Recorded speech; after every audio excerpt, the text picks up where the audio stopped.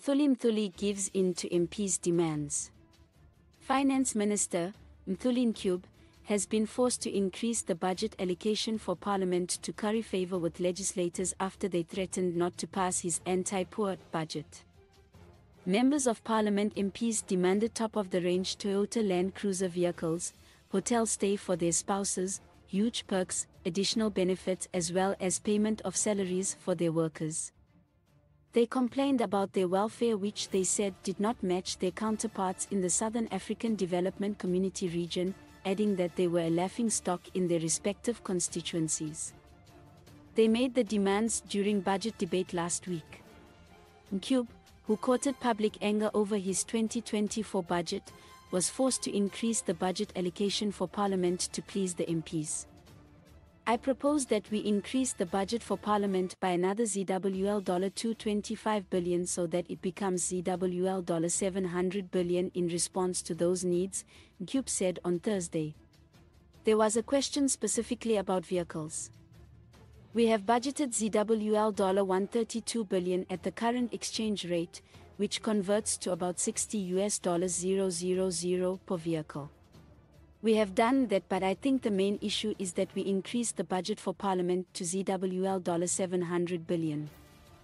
Ncube also proposed to increase the Constituency Development Fund CDF budget allocations.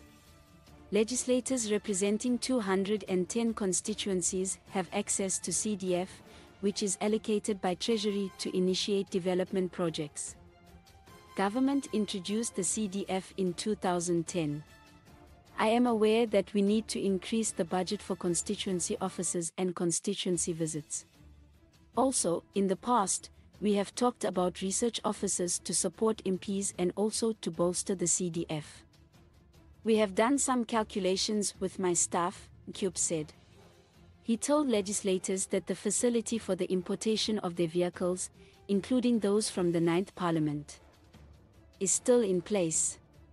I must say that the facility for the second vehicle is still in place, so you are free to import a second vehicle. Those from the Ninth Parliament who could not bring in cars before Parliament was dissolved. We are going to extend the statutory instrument so that you can bring in your cars, he said.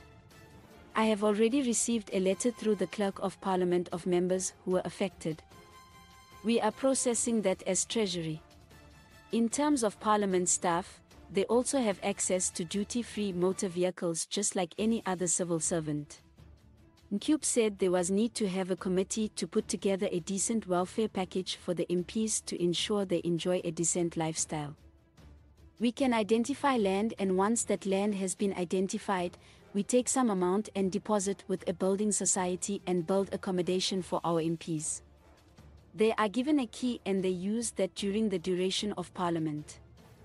He added, that is what should come to the Welfare Committee for discussion so that we all agree on the best model and the government stands ready to support. I agree that we need to do something with accommodation. Ncube was under pressure to pamper the MPs after they threatened not to pass his budget.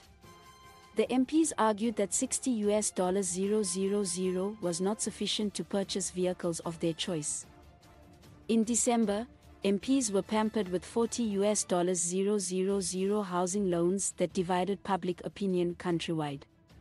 The housing loans caused fissures within the opposition circles, especially the Citizens Coalition for Change, after its leader Nelson Chamisa criticized MPs from his party for accepting the money which he described as a bribe from the ZANU PF led government.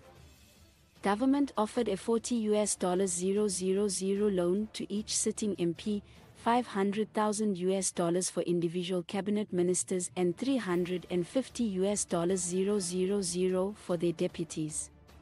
Please like, comment, share and follow this channel for more information or updates on news and entertainment.